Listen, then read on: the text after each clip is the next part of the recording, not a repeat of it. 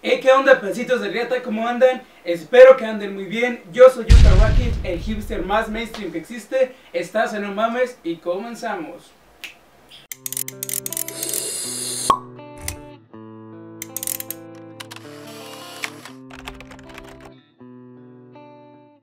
Debido al éxito de mi video anterior sobre la reseña de la película The Amazing Spider-Man 2, La amenaza de Electro, decidí hacer una serie de videos llamados La Reseña.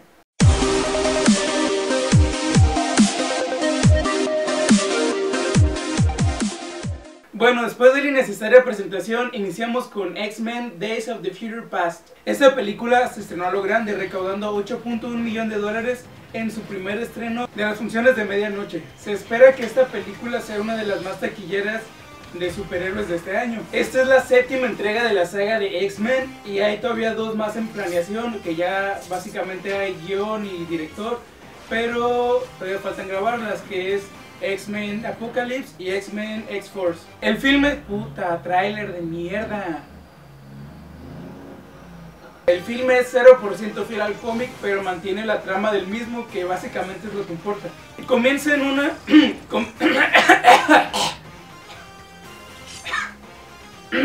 Este comienza en un futuro post-apocalíptico donde la empresa tras crear los sentinelas para cazar a los mutantes. Pero en este futuro alterno los centinelas atacan tanto mutantes como humanos y los ponen en peligro de extinción. Por eso mandan a todo poderoso Hugh Jackman Wolverine a los años 70 para que arregle el problema antes de que creen a los centinelas. Como siempre le dan mucho protagonismo a Wolverine en estas películas de los mutantes. Podemos ver Wolverine con muchos mutantes que no conoces. Wolverine salvando a la chica. Wolverine con Nightcrawler y su pasado. Wolverine mata a su novia. Wolverine viaja al pasado. Vaya hasta que le ponen un nombre a su película. Y por fin una donde no sale. Esperen. Olvídenlo. En esta entrega se le da más protagonismo a Mystic. Ya que básicamente la película gira alrededor de ella gracias a sus genes y cómo utilizan los mismos para crear los sentinelas. Que, oh por Dios, es lo más genial y letal que he visto en una película de mutantes literal le pateé el trasero a cada uno de los mutantes que hay en la película. Los efectos que utilizaron fueron bastante increíbles y muy avanzados a comparación de las películas anteriores. Excepto el intro, en mi particular acertada y única opinión, el intro tuvo demasiados efectos que sobraron solo para poner el título de la película. En cuanto al elenco, aquí no pasó como de Increíble Hulk y de Avengers, donde cambian el personaje de Hulk, que lo interpreta como humano, de Edward Norton a Mark Ruffalo. No, aquí se respetaron los actores originales. Bueno, excepto por el villano, ya que en la película de X-Men era un afroamericano y en este es una especie de gnomo inglés-americano. Tenemos actores como Hugh Jackman como Wolverine, James McAvoy y Patrick Stewart como Charles Xavier, Michael Fassbender e Ian McCullen como Magneto, Jennifer Lawrence como Misty, Halle Berry como Storm, Nicholas Holt y Casey Grammer como Beast. Entre otros muchos que estaría de más mencionar porque son los personajes aburridos de siempre. Lo único que parece extraño aquí en los personajes es Colossus. Este personaje ha salido en tres películas y en cada una solo tiene una línea.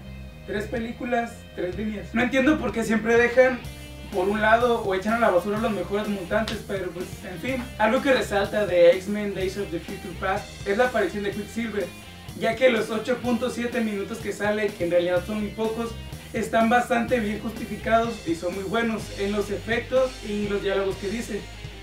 Otra vez digo, ¿por qué dejan de lado a los mejores mutantes? Como la muerte de Gwen en Spider-Man 2, la muerte de Storm en esta película es bastante trágica y a ti como espectador te da un poco de impotencia ver cómo la matas, te quedas así como de, no mames, ¿qué pedo? Y también se mueven los personajes aburridos como Iceman y como Warpath. Otro, ah, estoy leyendo. Necesito agua.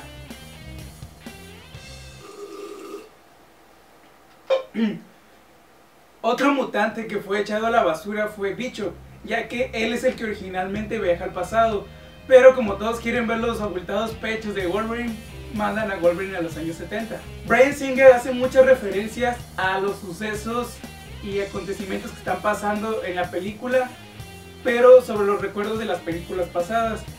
Supo escoger bien a su equipo al meter como diseñador de sonido a John Ottman, que es el creador del soundtrack de X-Men 2.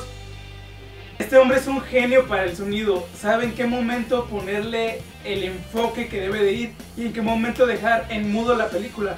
Porque hay momentos en la película donde está completamente mudo y ni te das cuenta. Bueno, ahora pasamos con las incoherencias de esta movie. En The Wolverine el Inmortal, Logan pierde sus garras de adamantium y en esa película las vuelve a tener y no explican cómo pasó. Mi teoría es esta, en la serie de caricatura de Wolverine and the X-Men, Raven y Wolverine están enamorados cuando son un poco más jóvenes, eh, están en un laboratorio donde Mr. Siniestro experimenta con ellos y le da las garras de adamantium a Wolverine. En esta película encuentran a Wolverine en el mar, lo sacan y el general William Stryker que aparece ahí en realidad es Raven, o sea Misty, y lo sacan del mar junto con ella. Mi teoría es que de ahí empiezan a donde se van a la base y le dan las garras de adamantium a Wolverine, pero pues ya es trabajo del director explicar si es eso o no. Después de destruir los sentinelas, la película solo estaría ligada a X-Men First Class, ya que las demás películas en realidad no existieron.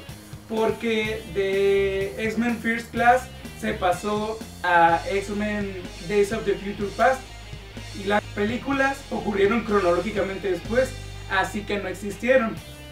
Otra cosa, Havoc aparece en el equipo de First Class en la película, pero Havoc es hermano menor de Cyclops y First Class ocurrió 20 años antes de que Cyclops existiera.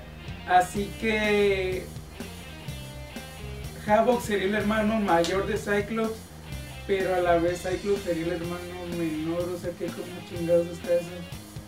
Da igual, van a ser un cagadero como siempre. En general es una excelente película en cuanto a efectos, historia, guion y dirección. Esperemos que se arregle lo que hicieron en la batalla final, que es la tercera película. ¿No se han dado cuenta que en las terceras entregas de las películas siempre son una mierda? Bueno, eso fue todo por hoy, ratitas. Espero que les haya gustado el video. Si creen que dije algún dato mal, los invito a que comenten y que pongan lo correcto. Pero no creo que haya dicho algo mal si leí bien el guion como 20 veces, así que bueno, recuerden que Melde es la mejor. ¿Quién escribió este guion? Pues tú lo escribiste. Yo soy Yuka Rakic. En la descripción le dejo mis links de mis redes. Suscríbanse, denle like, comenten y compartan. Eso ayuda mucho a crecer la comunidad. Si quieren que haga un video sobre otra película, otra reseña, pueden dejármelo en los comentarios o por mensaje privado. Y si no les gustó el video, igual están invitados a no verlo. Bueno, nos vemos. Bye.